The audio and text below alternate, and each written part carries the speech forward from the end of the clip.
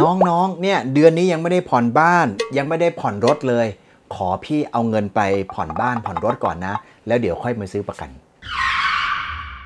เชื่อว่าข้อตัวแย้งนี้นะครับ หลายๆ คนจะต้องเจอแน่ๆครับในการออกตลาด การที่ลูกค้ามีข้อตัวแย้งแบบนี้คุณก็ต้องมานั่งวิเคราะห์ก่อนนะ ว่าเป็นข้อใบเบี่ยงหรือว่าเป็นข้อเท็จจริง เป็นสิ่งที่ลูกค้ากังวลจริง ๆ วิธีการตอบเป็นแบบนี้ครับ คุณลูกค้าครับ ผมเข้าใจดีครับ เพราะว่าทุกๆ คนก็ต้องมีภาระรายจ่ายทุก ๆ เดือนเป็นประจำอยู่แล้ว ไม่ว่าจะเป็นค่าผ่อนบ้านผ่อนรถยังรวมถึงอนาคตของลูกชีวิตความเป็นอยู่ของคนในครอบครัว ผมเชื่อว่าสิ่งต่างๆเหล่านี้สำคัญทั้งสิ้น ผมเรียนถามคุณลูกค้าสักนิดหนึ่งครับ คุณลูกค้าตั้งใจซื้อบ้านหลังนี้ให้เป็นกรรมสิทธิ์ของลูก หรือว่าให้เป็นกรรมสิทธิ์ของธนาคารครับคุณลูกค้าตั้งใจให้รถคันนี้เนี่ยเป็นกรรมสิทธิ์ของ finance หรือว่าเป็นกรรมสิทธิ์ของคุณลูกค้าและคนที่คุณลูกค้ารักครับพอเจอถามไปแบบนี้ลูกค้าก็จะงงนิดนึงเขาบอกเอ้าซื้อบ้านก็ต้องการให้มันเป็นของครอบครัวสิ ซื้อรถก็ต้องการให้เป็นกรรมสิทธิ์ของครอบครัวสิจะเป็นของคนอื่นได้อย่างไร คุณลูกค้าเห็นด้วยกับผมไหม ในสัญญาที่เราซื้อบ้านก็ดี ซื้อรถก็ดีเนี่ยอันเรียกว่าสัญญาเช่าซื้อครับคำว่าเช่าซื้อแปลว่าอะไร สมมติว่าบ้านเนี้ยเราผ่อน 30 ปี แสดงว่าเราเนี่ยเช่าอยู่ 29 ปี 11 เดือนนะครับถ้าเกิดว่าเราจ่ายงวดที่ 12 ของปีที่ 30นั่นแหละครับแล้วมีการโอนเนี่ยเราถึงจะเรียกว่าซื้อครับรถยนต์ก็เช่นเดียวกัน สมมติสัญญา 7 ปี 6 ปี 7 ปีเนี่ยตลอดระยะเวลาของการผ่อนชำระ อันนั้นเขาเรียกว่าเช่า จนกว่าคุณลูกค้าจะผ่อนหมดนะครับแล้วมีการโอนเนี่ยถึงจะเรียกว่าการซื้อเนี่ยเสร็จสมบูรณ์เป็นกรรมสิทธิ์ตอนนี้รถและบ้านเนี่ยยังไม่ได้เป็นกรรมสิทธิ์ของคุณลูกค้านะเป็นแต่เพียงผู้ครอบครองแต่ว่าไม่ได้เป็นเจ้าของคุณลูกค้าเนี่ยผ่อนชำระเขา ถ้าอยากจะรู้ว่าใครเป็นเจ้าของกันแน่ มีวิธีการครับ คุณลูกค้าลองไม่ผ่อนเขาสัก 3 เดือนสิครับ จะรู้เลยครับว่าใครกันแน่เป็นเจ้าของบ้านหลังนี้ ใครกันแน่เป็นเจ้าของรถคันนี้ ที่ผมพูดมาทั้งหมดเนี่ยคำถามก็คือว่าคุณลูกค้าอยากจะให้บ้านกับรถเป็นของลูกหรือเปล่าล่ะครับ คุณลูกค้าลองคิดตามผมนะ ไม่ต้องเชื่อผมก็ได้ เห็นด้วยไหมครับ ถ้าวันนี้เนี่ยไม่ผ่อนบ้านสักงวดหนึ่งไม่ผ่อนรถสักงวดหนึ่งเนี่ยธนาคารหรือว่าไฟแนนซ์ก็ยังไม่ได้มายึดรถยึดบ้านเราทันที แต่ชีวิตมนุษย์เนี่ยเราไม่สามารถทำสัญญากับพระเจ้าได้ เราไม่สามารถบอกท่านพญามัจจุราชได้ว่าเอ้ยอย่าเพิ่งเอาผมไปบ้านยังผ่อนไม่หมด รถยังผ่อนไม่หมด เราไม่สามารถทำสิ่งนั้นได้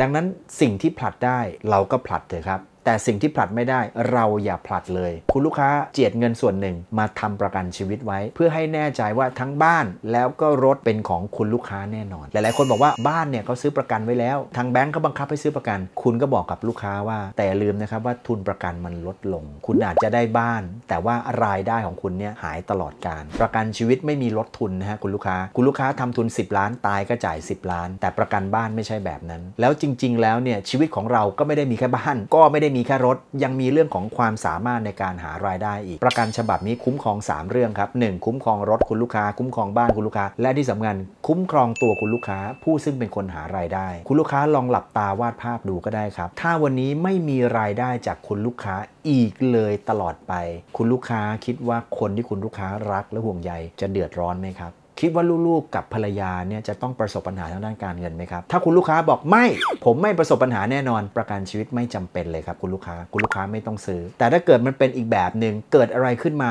คุณลูกค้าไม่อยู่รายได้คุณลูกค้าไม่อยู่ มีคนที่ต้องเดือดร้อนจากเรื่องนี้ คุณลูกค้าต้องการปกป้องเรื่องนี้ไหมครับ วันนี้แหละครับเป็นวันที่ดี ผมกำลังคุยอยู่กับคนที่รักครอบครัวเขาสุดหัวใจอยู่หรือเปล่าครับ คุณลูกค้าครับ ครอบครัวคุณลูกค้าถ้าไม่ใช่คุณลูกค้าปกป้องแล้วใครล่ะครับ ถ้าไม่ปกป้องวันนี้เราจะปกป้องเขาเมื่อไหร่ครับ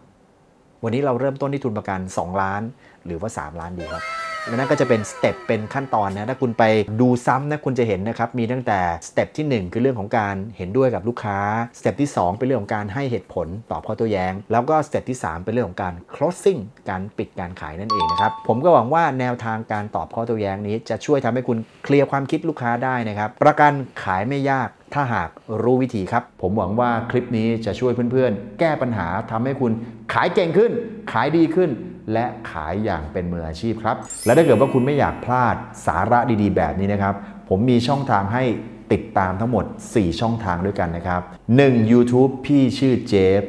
2. แฟนเพจพี่ชื่อเจฟ 3. TikTok โอ้นี่ใหม่มากนะครับ และ 4. Instagram และถ้าท่านใดนะครับ ชอบฟังพอดแคสต์ฟังเรื่อย ๆ นะครับ เพลิน ๆ ก็สามารถติดตามได้ที่ Spotify ครับ พี่ชื่อเจฟ พิมพ์คำว่าพี่ชื่อเจฟนะครับพอดแคสต์ทั้งหมดของผมนะครับจะปรากฏขึ้นให้ท่านเลือกฟังได้ทันทีครับ แล้วพบกันใหม่ในคลิปหน้าครับ สวัสดีครับ ไม่เอานะ จะขายประกันเหรอไม่ซื้อหรอกโอ้ยประกันชีวิตเหรอไม่สนใจโอ้ยประกันชีวิตเหรอมีเยอะอยู่แล้วมาทางไหนไปทางนั้น เป็นข้อตัวแย้งที่ตัวแทนประกันชีวิตทุกคนต้องเจอครับคำถามก็คือว่า คุณรู้วิธีการที่จะจัดการข้อโต้แย้งเหล่านั้นหรือไม่ และนี่เป็นกำแพงครับที่นักขายทุกคนจะต้องปีนป่ายไปให้ได้ครับ หรือคุณไปนั่งต่อหน้าลูกค้า แต่คุณก็ไม่รู้ว่าคุณจะพูดอย่างไร โน้มน้าวใจผู้หวังอย่างไร ให้สนใจประกันชีวิต วันนี้นะครับปัญหาที่ผมพูดในข้างต้นจะหมดไปครับด้วยคัมภีร์นักขาย 2 เล่มนี้ ซึ่งพิสูจน์แล้วนะครับจากนักขายประกันชีวิตทั่วประเทศไทย หนังสือมี 2 เล่มด้วยกันครับ เล่มขาวชื่อว่าบทขายไอเดียเงินล้าน ในนั้นนะครับจะมีบทขายประมาณ 30กว่าบท และผมแถมในเรื่องของบทโทรทำนัดและการตอบไลน์แชทครับ นอกจากคุณจะมีไอเดียการขายแล้ว ผมยังเสริมในเรื่องของการโทรทำนัด การตอบไลน์แชทให้คุณด้วย ในเล่มสีดำครับ เป็นหนังสือตอบข้อโต้แย้งเงินล้าน อย่างที่ผมบอกในตอนต้นนะครับ ลูกค้านะครับมีข้อโต้แย้งมากมาย ถ้าวันนี้คุณรู้เทคนิค คุณรู้วิธีการตอบ ผมรับรองครับว่ายอดขายของคุณจะมากขึ้นแน่นอนครับ ในหนังสือเล่มนี้นะครับมีบทตอบข้อโต้แย้งถึง 51 บทด้วยกันครับ ซึ่ง ครอบคลุมลูกค้าทุกกลุ่มทุกประเภทครับ มีข้อโต้แย้งโหลๆอย่างเช่น ไม่มีเงิน ไม่สนใจประกันชีวิต มีประกันชีวิตเยอะอยู่แล้ว มีตัวแทนดูแลอยู่แล้ว หรือแม้กระทั่งข้อโต้แย้งที่ไม่น่าเชื่ออย่าง ผมคิดว่าผมไม่ตายง่าย ๆ ผมเป็นหมอ ผมดูแลสุขภาพดี ดังนั้นประกันชีวิตไม่จำเป็นสำหรับผม ข้อตัวแย้งเหล่านี้นะครับ ได้ถูกบรรจงร้อยเรียงครับ ขียนไว้ในหนังสือเล่มนี้คัมภีร์นักขายนะครับมีด้วยกัน 2 เล่มครับเล่มสีขาวและเล่มสีดำเล่มสีขาวนะครับชื่อบทขายเงินล้าน เล่มสีดำชื่อบทตอบข้อโต้แย้งเงินล้าน เดี๋ยวผมจะอธิบายนะครับว่าแต่ละเล่มช่วยคุณได้อย่างไร เล่มสีขาวเป็นไอเดียการขาย คุณสามารถขายกับลูกค้าได้หลายกลุ่มหลายประเภทครับเริ่มตั้งแต่พนักงานกินเงินเดือน พนักงานฟรีแลนซ์ SME หรือแม้แต่เจ้าของกิจการ และที่สุดเลยก็คือว่าไปขายคนรวยขายอย่างไร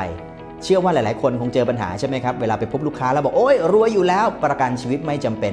ในหนังสือเล่มนี้แหละครับ ผมมีความลับครับที่เราสามารถขายคนรวยได้ครับ และเล่มสีดำครับเป็นบทตอบข้อโต้แย้งเงินล้าน ในเล่มนี้นะครับมีข้อโต้แย้งที่เขียนไว้ถึง 51 บทด้วยกันครับ และแต่ละบทครับเชื่อว่าครอบคลุมปัญหาที่เพื่อน ๆ ได้เจอมาครับ และที่สำคัญครับมี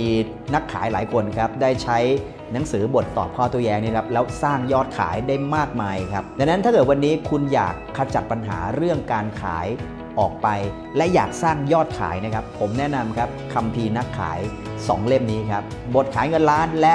บทตอบข้อตัวแย้งเงินล้าน และสำหรับท่านที่ไม่มีเวลาอ่าน ไม่ชอบอ่าน เวลาอ่านหนังสือแล้วจะหลับนะครับ ผมมีเวอร์ชันที่เรียกว่า audio book นะครับหรือว่าหนังสือเสียงนะครับคุณสามารถฟังได้เพลินๆ ไม่ว่าจะฟังบนรถนะครับถือว่าเป็น mobile university หรือว่าเป็นมหาวิทยาลัยเคลื่อนที่นะครับสามารถพัฒนาตัวเองไปได้นะครับในขณะที่คุณอยู่บนท้องถนน หรือจะฟังก่อนนอน หรือจะฟังบน BTS หรือที่ไหนก็แล้วแต่นะครับหนังสือเสียงเนี่ยไม่ใช่แค่ผมมาอ่านหนังสือให้ฟังครับแต่ต้องใช้คำว่าผมมาแสดงให้ดูดีกว่าครับ คุณจะได้ยินทั้งน้ำเสียง การเว้นจังหวะหนักเบาต่างๆนะครับ คุณสามารถก๊อปปี้วิธีการพูดของผมเนี่ยไปใช้กับลูกค้าได้เลยดังนั้นถ้าเกิดว่าคุณสนใจนะครับ คุณสามารถซื้อในรูปแบบของ Pocket Book ซึ่งเป็นหนังสือ หรือซื้อแบบ Audio Book ซึ่งเป็นหนังสือเสียงนั่นเองครับ ถ้าคุณสนใจหนังสือ 2 เล่มนี้นะครับ ติดต่อได้ที่ Inbox ที่หน้าแฟนเพจหรือติดต่อได้ทางไลน์ครับ I am Jeff ตรงนี้นะครับ ผมหวังว่าคัมภีร์นักขายทั้ง 2 เล่มนี้นะครับจะช่วยคุณได้ และสร้างยอดขายทำให้คุณติด MDRT และจับเงินล้านได้ในที่สุดครับ